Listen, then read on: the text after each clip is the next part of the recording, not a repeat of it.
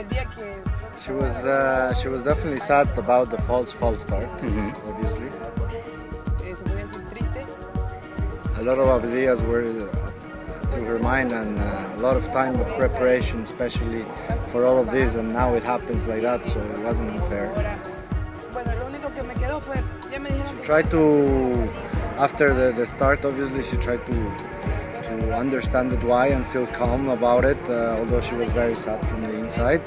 And uh, she had no idea that we appeal actually. Uh, myself, the manager, and, and the vice president of the national federation, we went through the process. We won, and actually uh, we went straight ahead to, to present Angela the good news. She received it perfectly, and she focused immediately.